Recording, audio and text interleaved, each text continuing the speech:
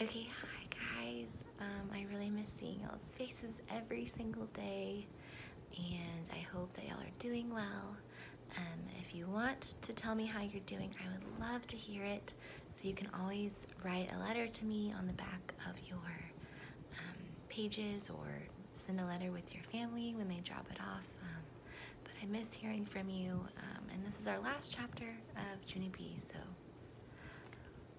uh, it's called Pigs and Ducks and Stuff. And remember, get out your questions for Junie B. Jones, chapter 9.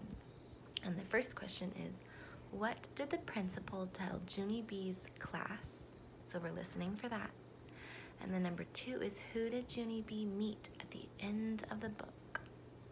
Maybe have a prediction ready.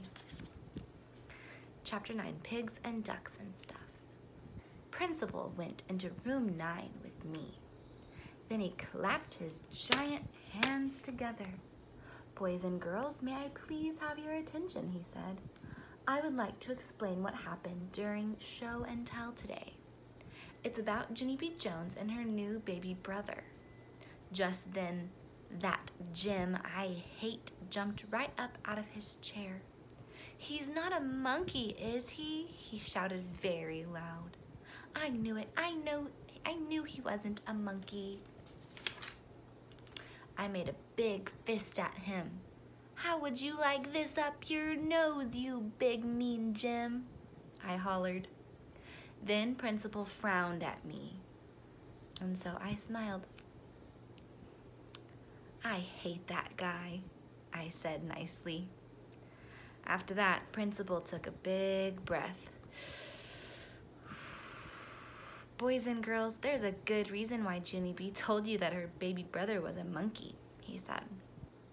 Yeah, it was all my Grandma Miller's fault, I interrupted, because she told me that my brother was a little monkey. Only she didn't mean he was a real little monkey. She just meant he was cute. Only who in the world knew that silly thing? Principal made another frown at me. Then he talked some more. You see, boys and girls, he said, sometimes adults say things that can be very confusing to children. Like, what if you heard me talking about a lucky duck? Have you guys ever heard that? Have you ever heard someone say, oh, you're such a lucky duck? If you don't, it's okay. It doesn't actually mean a real lucky duck. You might think I was talking about a real live duck, but lucky duck just means you're a lucky person. Right, said Mrs. And when we call someone a busy bee, we don't mean he's a real bee. We just mean he's a hard worker. Hey, I just thought of another one, I said, very excited. A dumb bunny isn't a real alive bunny either. It's just a plain old dumb bunny. Then my friend Lucille raised her hand. I've got one too, she says. Sometimes my nana, her abuela, calls my daddy a couch potato. A couch is like a sofa, and a potato is a papa. Only he's not a couch potato. He's not a real potato. He's just lazy. Yeah, and I'm not a big pig, said my new boyfriend, Ricardo. But my mom says I eat like a big pig.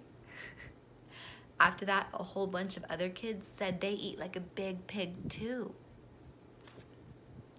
Has your parents ever said that you looked, or not looked, ever said that you eat like a big pig? If so, they're just kidding. Only a boy named Donald said he eats like a horse. And that boy, William, that cries a lot, he eats like a little bird. Just then it was time for the bell to ring, and so me and Principal said bye-bye to each other, and I went to my seat. Then I gave Lucille back her red chair. She was very nice to me. I'm sorry that your brother isn't a real monkey, Junie B, she said. Thank you, Lucille. I'm sorry that your daddy isn't a real potato, after that, the bell rang for us to go home, and so me and Lucille and that Grace held hands and we walked outside together. Only then a very wonderful thing happened, and it's called I heard my mother's voice. Junie B, Junie B, over here, honey. Daddy and I are over here. Then I looked outside and I saw her. And so I ran real quick, speedy quick to her. And then me and mother hugged and hugged because I hadn't seen her for a very whole day. Then my daddy got out of the car and he had a little yellow blanket in his arms. And guess what was in that thing? I think that's one of your questions. My new baby brother, that's what. He was very teeny and pinkish, except his head had a lot of black hair on it. I touched it. It felt very fuzzy. Just then Ricardo walked by. That's Ricardo. And he saw my teeny brother. Cool hair, he said. I smiled very big. I know it, Ricardo, I said, and guess what else? He doesn't even smell like P.U. After that, I got in the car. So there's Junie B, there's her little brother, there's her mom and dad, and there's Ricardo. She got in the car. And I told mother about Lucille's locket. Remember a locket's the necklace with the heart on it. And she said maybe I could get a locket too, and I could put my brother's teeny head in there. Yes, and I would also like some pink shoes that go up to my ankles, please. I said, very polite. Maybe, said mother. Oh boy, I said, because maybe doesn't mean no. That's why.